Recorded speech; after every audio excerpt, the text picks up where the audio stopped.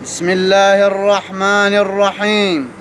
والصلاة والسلام على أشرف الأنبياء والمرسلين محمد صلى الله عليه وعلى آله الطيبين الطاهرين.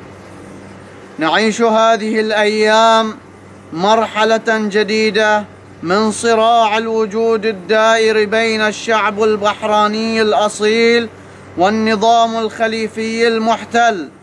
الذي راح يوجه سهامه نحو مذهبنا ومعتقداتنا متجاوزا كل الخطوط الحمراء فاستهدف المنبر الديني وصلاة الجمعة والجماعة أموال الخمس وجر العلماء للتحقيق وأخيرا استهدف كبار علماء البلد.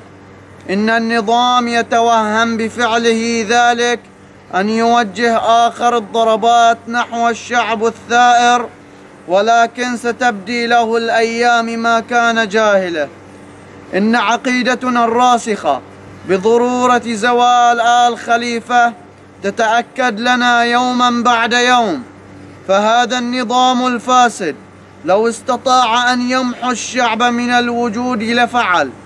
لقد شهد أجدادنا جرائمه وعاين تجاوزته واستخدم معه كل أساليب النصيحة والمسايرة. لكن لا لكن أسمعت حيا ولا حياة لمن تنادي. لقد أثبتت التجربة أن التعاطي السياسي والدبلوماسي مع النظام الخليفي لم يحفظ لنا حقوقنا. فضلا عن استرجاعها فلو كان هذا النظام ممن يستقيم لاستقام ولو كان ممن يستحي لاستحى لكنه أبى على نفسه أن أي حل إلا زواله.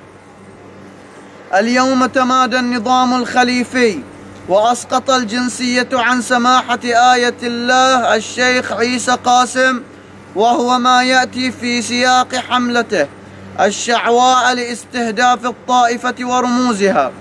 ويعتبر هذا إجراء تمهيديا لترحيل سماحته من البحرين كما فعل مع سماحة آية الله حسين النجاتي. إن هذه المرحلة تدعوننا جميعا لإعلان التحدي في وجه النظام الجائر مع ضرورة رص الصفوف وتكاتف الجهود وبدء مرحلة جديدة تحت عنوان الوحدة والتحدي لقطع يد الجور الخليفية الحرية للأسرى والعزة للشهداء والنصر لشعبنا المضطهد. الشعب يريد أسقاط النظام.